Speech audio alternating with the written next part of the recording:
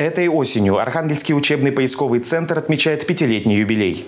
Поисковики ежегодно проделывают колоссальную работу, возвращая истории имена забытых героев, ведя поиск родственников, тех, чьи боевые медальоны удалось обнаружить на полях сражений. О большой семье архангельских поисковиков расскажет Вероника Смолякова.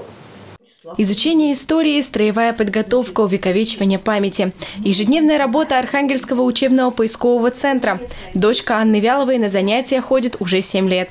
За эти годы Анна из ответственного родителя переросла в незаменимого помощника организации. Все идет от детской роты бессмертного полка. Вот, когда она была организована, мы, вот маленькая девочка у меня, Эмилия, 5 лет, они ходили с ветеранами за руки вот, бессмертном полку.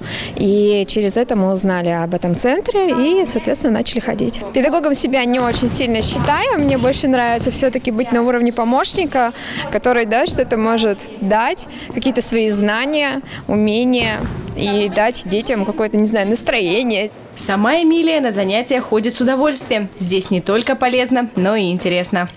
Друзей здесь у меня очень много, мы со всеми дружим, у нас одна команда. Э, каждый друг друга готов поддержать. Сюда хожу, потому что здесь сплоченный коллектив. Из курсантов инструкторы, из родителей педагоги.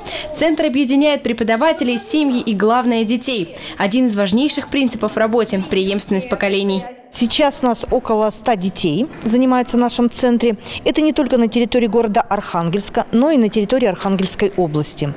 Э, значит, занятия проходят э, у нас ежедневно.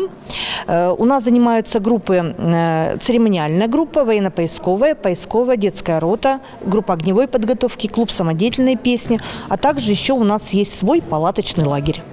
В центре есть место и творчеству. Номера, созданные ребятами, занимают первые места на всероссийских и международных конкурсах.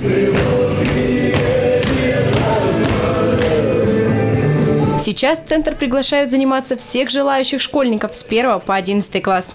Вероника Сморякова, Евгений Зыков, Регион 29.